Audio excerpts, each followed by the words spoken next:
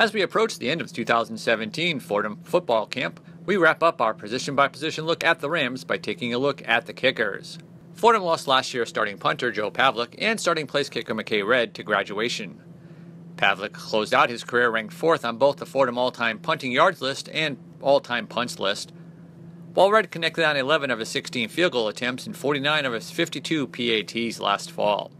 The Rams returned two kickers with experience, led by senior Alejandro Cardenas. Last year, Cardenas handled the kickoff chores, kicking off 44 times for 2,383 yards, and he was also 3 for 3 in PATs. As a sophomore in 2015, he was 3 for 5 in field goal attempts with a long of 44 yards and a perfect 11 for 11 on PATs. Also back at kicker is junior Kyle Fasabeni, who handled some of the kickoff duties last year, kicking off 10 times for 538 yards. Freshman Andrew Mevis is also fighting for the starting kicking position. He comes to Fordham from Warsaw Community High School in Warsaw, Indiana, where he was a 2016 Under Armour All American game participant, kicking a 46 yard field goal in the game, and he was a 2016 Kohl's Kicking All American.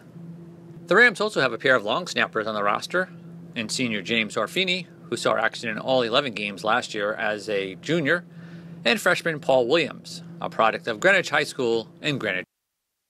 All right, Alejandro, how's camp been going so far? Camp's been going well. I think that as a collective group, with the addition of Andrew Mevis, we've gotten a lot better as a specialist group, and we're looking forward to doing big things this year.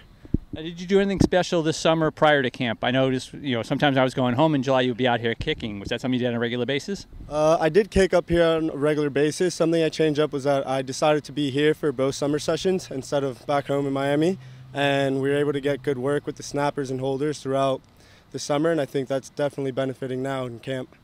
Now, as a kicker, um, camp isn't it's not what most people think. You don't run from drill to drill. I mean, you'll you'll be in a drill and then you'll be on the sidelines for two, yeah. you know two or three uh, sessions. How does that figure in? I mean, what are you doing in that downtime? Uh, we definitely have a lighter load when it comes to the actual practice, but on the downtime, we're going through our footwork, we're going through our steps, working on our drops, working with the holders, working the snaps. So we're keeping ourselves busy, and that's definitely what we're doing. The majority of the time is just that.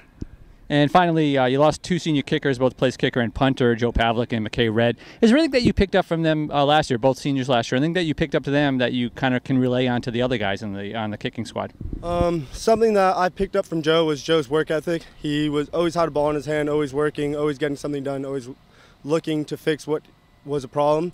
And something I picked up from McKay was his presence, like on the field and just his ability to go out there and his confidence to go out and make a kick.